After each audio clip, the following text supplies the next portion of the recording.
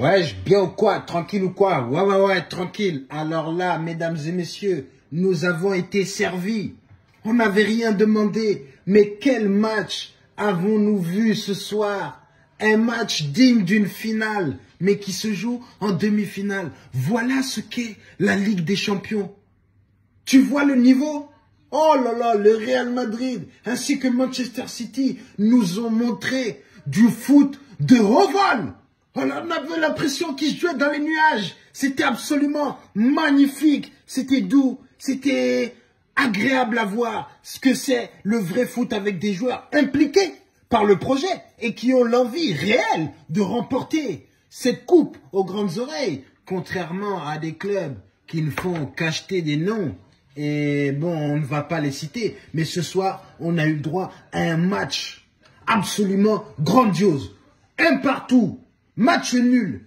Mais c'est le meilleur match qu'on a pu voir depuis ces dix derniers jours. Ouais, je sais.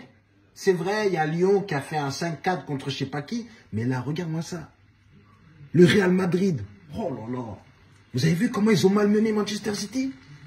Manchester City aussi, t'as vu comment ils ont réussi à tenir et jusqu'à aller égaliser contre toute attente? Oh là là Pourtant, le match était parti plus en faveur de Manchester City, qui commençait vraiment à se créer beaucoup d'occasions. Mais après, on a vu la puissance du Real Madrid. Franchement, cette équipe, elle est habitée, possédée par des démons qui savent comment remporter ces genres de matchs. Parce que là, là, c'est pas normal et c'est pas explicable qu'on me dise que le Real puisse élever son niveau en Ligue des Champions comme cela. Ces joueurs comme ça, Vinicius, c'est quoi ce but que tu nous as mis là Hein? D'habitude, toi, tu es là, tu es fort dans les danses, c'est là maintenant. Tu commences à marquer, faire des passes décisives. Ça y est, on va te compter toi aussi pour gagner le ballon d'or. Hein?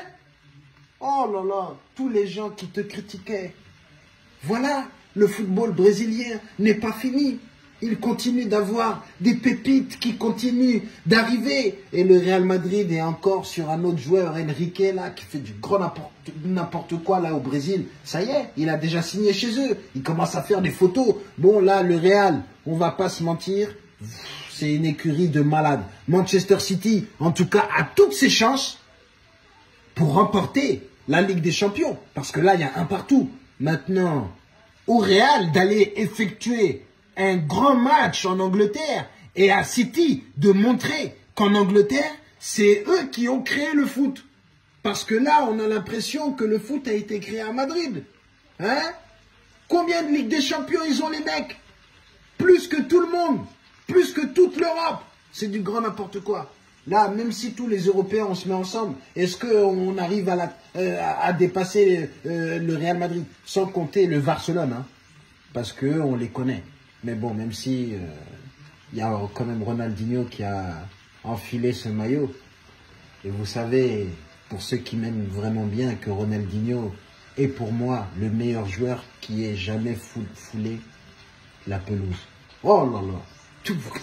Ah putain, Ronaldinho.